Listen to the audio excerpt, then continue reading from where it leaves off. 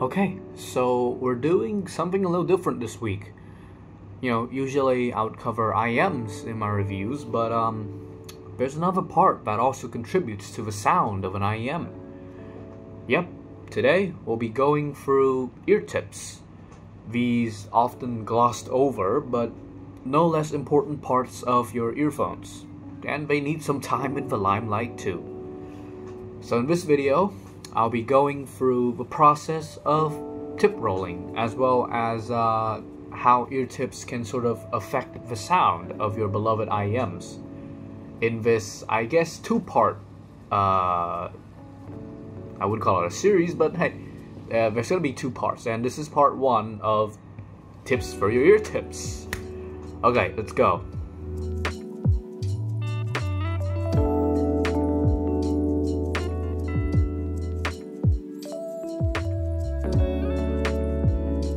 So first, you gotta know about tip rolling.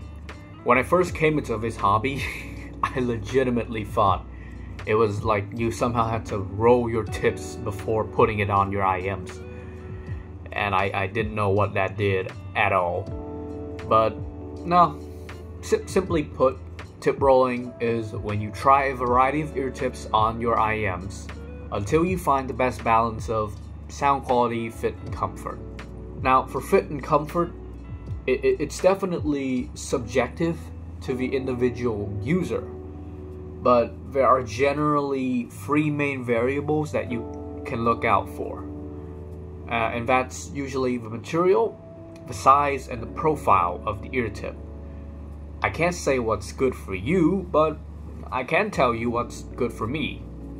So for the material, I tend to find softer tips as the most comfortable, as they can conform somewhat to my ear geometry better than tips with a hard material. A hard nozzle will also be less conforming to your ears, and they can create fitment or possibly comfort issues. However, they may yield some sound quality benefits, as will be discussed later. The size of the ear tips will depend on a person's ears, and while whilst you can perhaps wear a size, it can't. No, no, it isn't necessarily the most comfortable. Perhaps a large ear tip fits your ears, but it may cause some pain.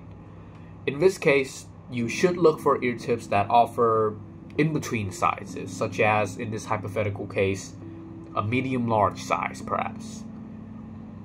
And relating to the size is going to be the profile or the shape of the ear tip. A medium sized ear tip can still feel like wearing a bigger or smaller size due to its profile. In my case, medium foamy tips, they tend to have similar diameters to the medium sized silicone counterparts, but the squared off shape of the foamies make them feel like they are bigger in my ears. Yes, Ear tips can change the sound coming out of your earphones. Think of it as a form of physical EQ. You know, differences in like materials, like say the material thickness, their hardness, the size, lengths, insertion depth, and the shapes of ear tips may all contribute to elevating or dampening certain frequencies or frequency ranges of the earphone which can result in a mild to even very obvious change in sound, which will affect your perception of the signature of an earphone. And I'm not gonna drop a, a physics lesson on y'all as well, don't worry, but I will report to you what I can hear and speculate on the phenomena which may cause them. And of course, how the sound changes according to which ear tips can also vary from person to person. So take these assessments as suggestions and general observations from my experience, not some kind of immovable rule that always applies neatly to every situation, okay? Alright, so let's start with the material thickness. The thicker the silicone on the umbrellas of the ear tips, the more bass is emphasized usually mid-bass though with some sub-bass boost as well. For example, a tip with a thin material like spinfits will usually make an IEM sound more bass-light than one with a thicker material such as, in this case, a pair of foam tips, where the entire umbrella is essentially filled in with the foam material. Foam uh, usually has a tendency to soak up the high frequencies as well, so take note of that, though this does depend on the type of foam used. The thickness of the stem material can also contribute to more or less bass. A thick stem can usually help make bass more present and vice versa, though this is not as concrete as the umbrella thickness, and the opposite effect can also happen with regards to the stem. For the hardness of uh, the ear tip, it can also affect the sound, notably, from what I've observed, the upper mids, and a bit of the imaging ability. Uh, for instance, these tips that I poached from the FiiO FH7 and the Sedna earfits, both the standard, light, as well as short versions, they have a stiff stem, as well as a less conforming umbrella, and this tends to exhibit itself in sound as sort of boosting the upper mid-range presence and slightly better positioning in musical elements. Going to the size of the ear tips. They also tend to affect the perception of bass, particularly in the amount of bass and its wideness, due in part to the ability of the ear tip to create a seal, and just the sheer amount of material there are on the ear tips for the bass to sort of reverberate within. So yes, if you have small ears and have to resort to small, even like extra small sizes of ear tips, chances are you'll hear less bass, which will require EQ to compensate, whereas people with bigger ears may only need their big pair of ear tips to hear an adequate amount of bass. Though, inversely, if your ears are too big, the ear tips may fail to create a seal in your ears, resulting in the loss of low-end frequencies. The nozzle size will also affect bass, treble, and even imaging. I find that wide bore ear tips tend to have less bass, but they also have less peaky treble spikes and a looser imaging, whilst narrow bores kind of do the opposite. They tend to tighten the imaging capabilities and increase bass, but introduces some shimmering to the treble which may or may not be welcome. If you go too far and make like super small nozzles though, like that of uh, the Shure ear tips, you get a super bassy signature with little in the way of imaging and muted highs. So, mm, not not for me. Now the length of your ear tips can also affect the perceived soundstage. Possibly this could be due to the distance created from the driver of the earphone to your eardrums itself. Something like Sedna earfits with its really long stems tend to make for a soundstage that is marginally wider than with tips with short stems, such as those from like these Galaxy Buds Plus and like other True Waz IEMs with their like extra short uh, length. For insertion depth, it's also a bit constituent to tip length. It's the depth that you uh, at which you insert the ear tips into your ears. Usually, a deeper length can mean a deeper seal, which can increase the bass. I have to admit though that I am not fond of deep insertion tips such as like double and triple flanges, but I have heard reports that this makes bass more prevalent but also smooths out some peaks in the upper mids and highs. For the shape, of the ear tips, there's two things you want to take note of here, which is the shape of the umbrella and the shape of the top nozzle. This is also where things kind of vary the most.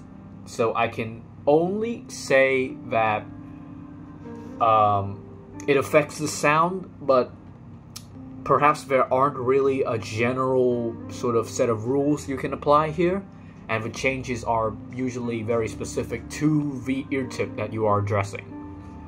But you can see that there are a few types of shapes that can be implemented into the umbrella. First is the standard uh, oval shape, or I guess a half circle shape. You'll see this in spin fits, Sony Hybrids, Final Type E's, Acoustune tips, uh, Moondrop Spring tips, and most general types of ear tips. But for foam ear tips, you'll often see that a more squared off profile is used, as can be seen on uh, these foamies. And of course, how could we forget ear tips with multiple flanges as well? And there's also the radius deep mount ear tips with their kind of bulbous shape. I don't have those tips, so here's some pictures of them, I guess. Don't have them, so I don't know what they'll do to the sound. Uh, now comes to the shape of the nozzle, which can affect imaging and sometimes dynamics. For example, uh, you can see that the common SpinFit has a pretty sharp nozzle, whereas a Final Type B and a Sony Hybrid, they sort of have a taper at the top of the nozzle. And I generally notice that the more tapered or less sharp a nozzle is, they offer uh, a bit looser imaging than those of the sharp nozzles. Uh, maybe a bit of a warmth added to the sound as well. The most tapered of shapes is the nozzle shape of foamies, and these are also kind of big. Uh, for me, they sort of make imaging and positioning too loose, so also not a fan of that. There's also stuff like KZ Starlines, which have some grooves on the outside of the nozzle. This helps allow uh, some air to exit from these gaps, so it sort of breaks the seal a little bit, but not by much. But it can help alleviate some problems with uh, pressure buildup in the air, uh, in the ear if you have such a problem, or with like IEMs that have sort of ina inadequate venting. And then there's stuff like the JVC spiral dots, with some dots inside of the stem itself. Uh, they tend to blur imaging a little bit in exchange for a smoother sound, from my experience.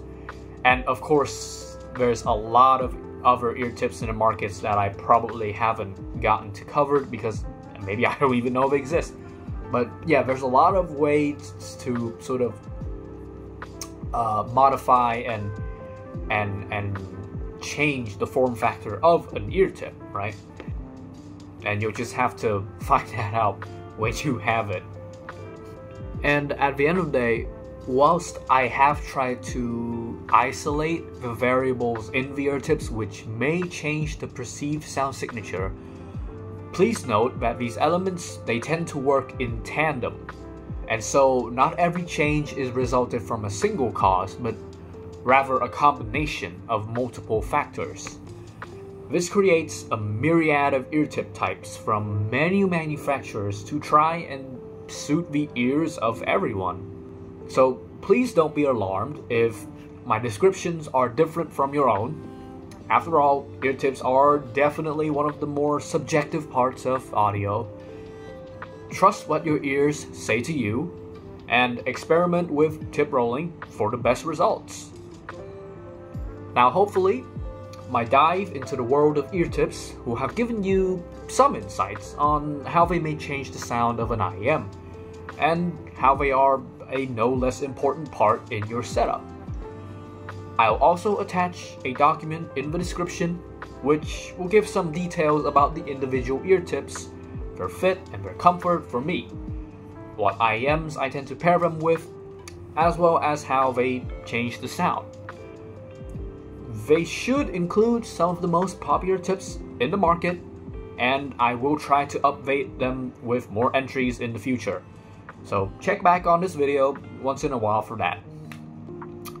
And, you know, now that you're caught up on how great and interesting these little silicone thingies are, join me next week in part 2 as I compile and present some modifications you can do to your ear tips to hopefully make them even better for your usage cases.